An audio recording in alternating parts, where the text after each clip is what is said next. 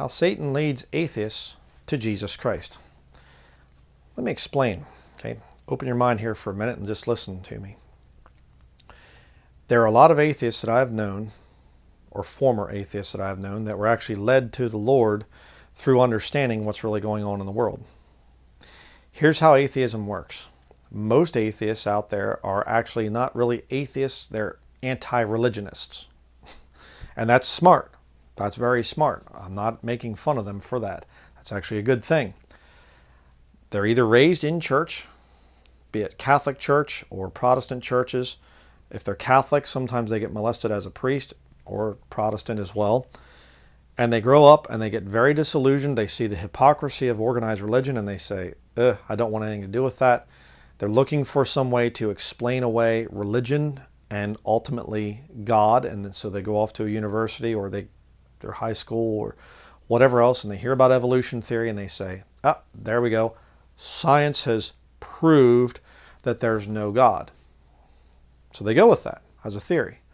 And they say, okay, since there is no God, I can enjoy my life. I can go out and I can do what I want without any feelings of guilt or whatever. There's no sin. There's no eternity in hell or any of that other stupid stuff. All that just fairy tale thing and whatever else. If you're an atheist, that's what you believe.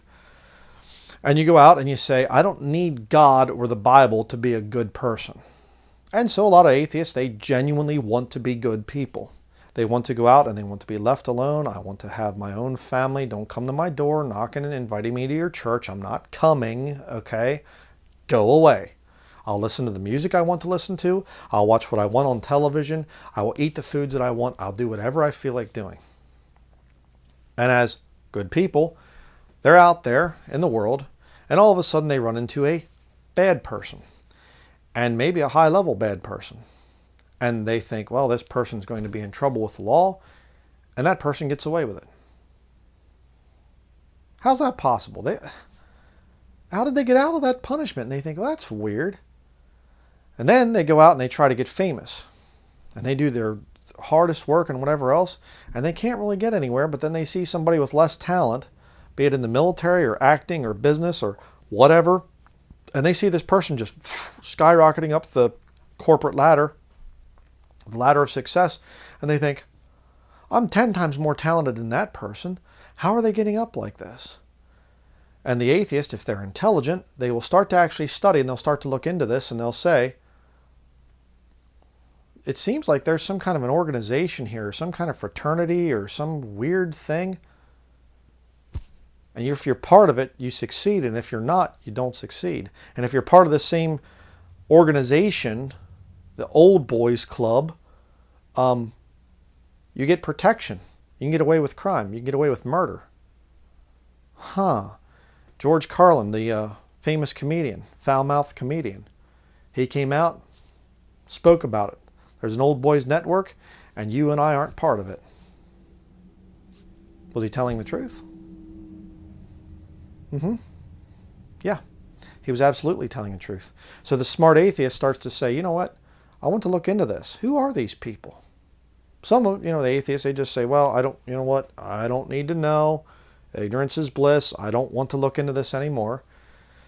But the smart one comes along and he says, I'd like to know about this. What's this Freemasonic stuff all about? And the Bilderbergers and the Club of Rome and the Council on Foreign Relations and the Illuminati and the you know, Jesuits and all these. I don't even. Maybe that stuff's all just kooky or whatever. But I'm going to check into it. Hey, I'm I'm open-minded. I'm scientific. I'm logical. I'll check into this. And all of a sudden they realize, okay, there's some facts that might not line up here perfectly, but these people are they're definitely connected. There's definitely some stuff here. And it seems as though, if you get into the deep enough studies, they all worship this being called Lucifer. And then it starts to dawn on these atheists if there is a Lucifer, then that would mean that the Bible's correct. Uh-oh. You mean there are people out there that if you worship this being called Lucifer, Satan, the devil, then you get ahead in life. And if you don't, you'll be kept down. Huh. And then you start to realize when you really come to the truth that Satan is actually the one behind organized religion. I'm going to show you. If you're to that point as an atheist where you're saying, okay, you know what? Um, I'm looking for a scholarly, tell me the truth here. Not just rabid religious rantings of crazy people. I'm seeing some things. I'm seeing that old boys network. And it's scary. They kill people. They assassinate presidents. They bring down countries. They create wars. Huh. I'd like to know a little bit more about that. What does the Bible have to say? Does the Bible talk about this? Matthew chapter 4. Just show you a couple scriptures today, something to think about. Matthew chapter 4, verses 8 through 10. The devil in the wilderness, and he's speaking with Jesus. Again, the devil taketh him up into an exceeding high mountain, and showeth him all the kingdoms of the world and the glory of them, and saith unto him, All these things will I give thee, if thou wilt fall down and worship me. Then saith Jesus unto him, Get thee hence, Satan, for it is written, Thou shalt worship the Lord thy God, and him only shalt thou serve. Bible talks another place, similar account, parallel account to this, that it's in a moment of time. You say, wait, okay, oh, wait a second. Takes him up into a high mountain and shows him all the kingdoms of the world. How does that work? Uh, well, very simple. It could have been a supernatural thing that the devil did there. I don't know exactly how it worked. But don't miss the point here. Is there a truth to this? If you fall down and worship Satan, Lucifer, the devil, if you fall down and worship him, will he give you the kingdoms? Are you seeing the knights, the knighthoods of the Vatican, Knights of the Equestrian Order, Knights of Malta, uh, the Knights of Columbus, the Knights of higher up levels? Are you seeing the Freemasons, which is actually just another Catholic knighthood? Are you seeing the Bilderbergers? Are you seeing the Club of Rome, the World Economic Forum, the all these different people? Are you seeing it? Then that's confirming Scripture. Hmm. But notice there, verse 7 Get thee hence, Satan, for it is written, Thou shalt worship the Lord thy God, and him only shalt thou serve. Satan is subservient to God. He can only do things if God gives him permission. You can read back in the book of Job, chapters 1 and 2. You'll see that. Satan has to appear before God and he has to get permission before he can do anything. So if you get to the point where you can believe in Satan because you see these people are definitely worshiping him and they're getting power from him, that confirms the scriptures, then you have to realize as powerful as Satan is, God is more powerful. The Lord Jesus Christ. He's more powerful. And you can have a relationship with him, not through church, not through 10% tithe, uh, through your Sunday best or whatever else. You can know him personally. 1 John chapter 5.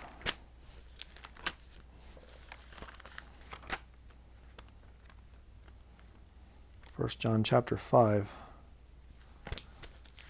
Back towards the Old Testament. First John chapter 5 verses 18 and 21 or 18 through 21, excuse me. We know that whatso, whosoever is born of God sinneth not, but he that is begotten of God keepeth himself, and that wicked one toucheth him not. And we know that we are of God, and the whole world lieth in wickedness. And we know that the Son of God is come and hath given us an understanding, that we may know him that is true, and we are in him that is true, even in his Son Jesus Christ. This is the true God and eternal life. Little children, keep yourselves from idols. Some really profound advice right there. The whole world lieth in wickedness. And the more you study things, the more you realize, man, there's so much greed and corruption and just wicked things. I can't believe this. These people are doing this and that. I trusted so and so, and they turned out to be a hypocrite and all this other stuff. People are turning on me because I'm asking questions. You mean you're looking for the truth? Mm-hmm. The truth is in God, it's in Jesus Christ. Read about it there in verse 20. We know that the Son of God is come and hath given us an understanding. Do you want understanding? You truly want to be wise? That we may know him that is true. And we are in him that is true, even in his Son, Jesus Christ. This is the true God and eternal life. Jesus Christ is the true God, and eternal life comes through Jesus Christ. And when you understand these people that worship Satan, and you start to look at the, that and the evil that these people do and, and are involved in, you realize why the Bible talks about hell. That's where those people go, and they deserve it. And if you don't think that they deserve it, well, then you need to continue learning about what they do. 2 Corinthians chapter 11. You say, well, okay, I can see that. I can see some of it. But what about this thing of organized religion? 2 Corinthians chapter 11 verse 13 through 15. For such are false apostles, deceitful workers, transforming themselves into the apostles of Christ.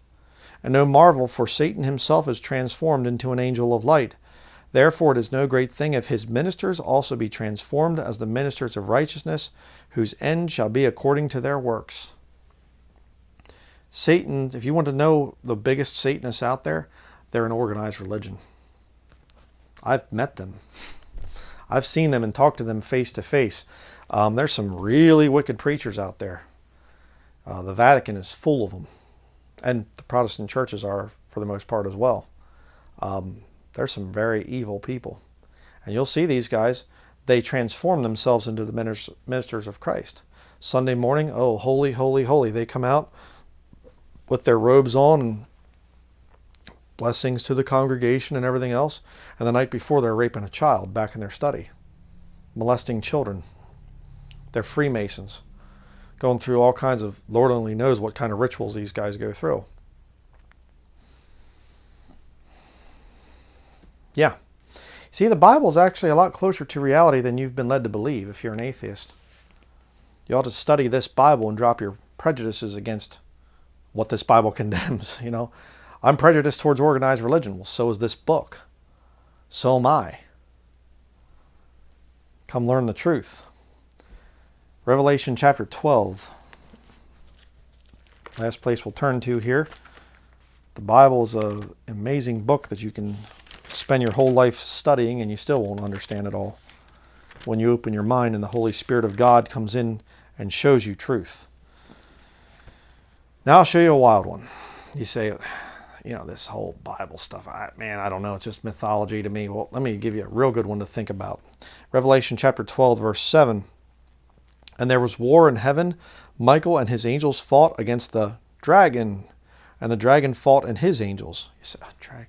Now we're fighting dragons. Okay. Oh. All right. Aesop's fables. Um, you know, what is this? Beowulf or something? Or, I mean, you know, what are we dealing with here? Camelot or something he's fighting a dragon in heaven. Continue to read. And prevailed not, neither was their place found any more in heaven. And the great dragon was cast out, that old serpent called the devil and Satan, which deceiveth the whole world. He was cast out into the earth, and his, and his angels were cast out with him. The devil is where right now? He's in heaven. This is describing a future event. The devil's in heaven answering to God has to get permission before he can do anything. Hmm. But he gets cast out into the, in the future. It's a rather interesting thing.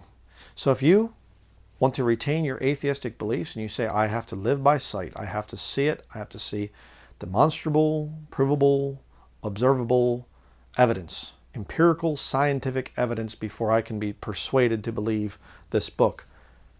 If you're young enough, you'll be seeing this you'll see the devil coming down. But the problem is he doesn't come down in a good mood. Verse 10 And I heard a loud voice saying in heaven, Now is come salvation and strength in the kingdom of our God and the power of his Christ. For the accuser, accuser of our brethren is cast down, which accused them before our God day and night. And they overcame him by the blood of the Lamb and by the word of their testimony, and they loved not their lives unto the death. He puts you know, save people to death, in other words. Verse 12 Therefore rejoice, ye heavens, and ye that dwell in them. Woe to the inhabitants of the earth and of the sea, for the devil is come down unto you, having great wrath, because he knoweth that he hath but a short time. So, if you want to survive the years ahead and go ahead and see that those events come to pass, then go ahead. And you will see all the proof that you want. Um, atheism is going to be coming to an end within the next 10 to 20 years. I will give you a prophecy, a sure word of prophecy. And if you're alive in 20 years from now, 10 to 20 years from now, and everything's just wonderful and hunky dory and there's nothing at all going on, no bad stuff in terms of what the Bible says. I realize that you could say, well, there's always bad stuff. I get that. But I'm saying end of the world as we know it, you know, kind of thing. If that's there in 10 years, well, then you can just say, kooky preacher, what an idiot, and whatever else. Um, but if you really want to be scientific here, um, look into who's controlling things and who's pulling the shots and what they're planning for the future and how that these people are Luciferians. Look into the secret societies and whatever else. And my favorite thing is, that, you know, I've dealt with people so many times over the years, and they'll, I say the Masons are Satanists. They said, no, they're not. I can prove it. Well, how can you prove it? I went to their website and they said that they're not. okay. You know, you go to the thief and you say, Did you rob the bank? No, I, I didn't do anything. And like, oh, see, he's innocent.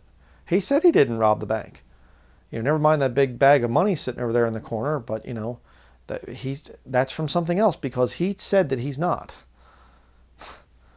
um, you'll discover it if you look for it. You'll discover that uh, yes, there are people that worship Satan, and the only hope for you when you find that is to get in touch with Jesus Christ not with organized religion. Okay, because that's actually Satan's system. His ministers appear as the ministers of righteousness. So, please do take my advice. Stay away from organized religion. Stay away from the church building experience out there. Um, study. So you're a kooky Christian. I'm asking you to study. I'm asking you to do some more research. Does that make me kooky? Does that make me weird? No, I'm trying to appeal to you and say, look into this stuff, check into it.